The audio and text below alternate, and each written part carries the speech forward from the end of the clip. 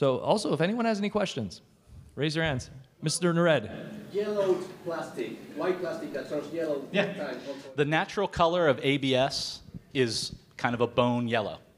So over time, the color leaches out, quite literally, and it becomes, a, a, yeah, white is an, a, a, a color that you would add to the ABS to make it white. That's when you see things like old R2D2s and old C3POs, you know, where the, the gold has come off C3PO and it's that same kind of color. That's the natural color of ABS plastic. Yes, sir.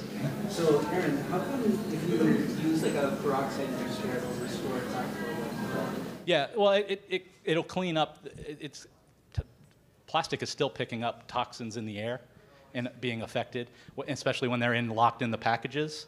You know, over time, you guys sense that. Why is my blister now tinted?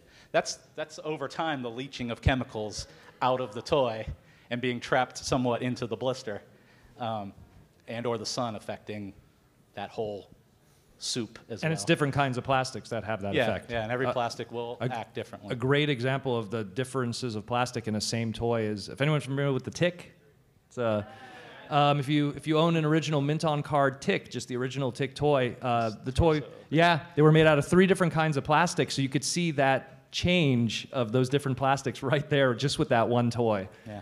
in Yeah. storage. So, any other question? Yeah, right. Uh, we'll go with Missy in the black.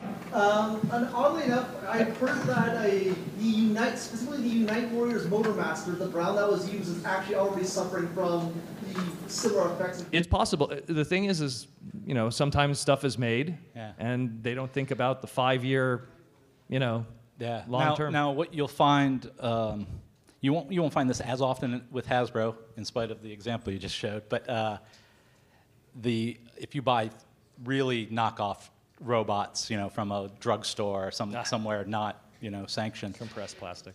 yeah, they just break apart, right? Because they're not using quality plastics at all. It's almost like a recycled plastic. yeah. A, lot, a lot of a lot of. Um, Um, I'm trying to think of some and so- bootlegs that were popular that people would know. But it, you go to any dollar store now. Usually, the the off-brand Transformers, uh, Dollarama right now is carrying like Beast Wars Neo off-brand bootlegs. If you feel the plastic on those compared to let's say your normal uh, Lio Convoy Junior, which is what it was trying to bootleg some of them, uh, you'll see it has this weird kind of graininess to it because it's a recycled plastic that's been almost Yeah, the more times, like black plastic is the worst because that's essentially the sweepings of the factory floor put into a hopper and it just makes black. Therefore, a lot of black things in some toys you'll see the swirl, you know, in it. That's Yeah. because it's a lot of mess that's kind of trying to work together in a mold.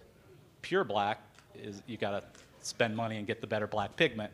Um, but a lot of that's called regrind, and that's you definitely see it on darker colors at times. Hasbro, it's not so much an issue, but other lower end companies.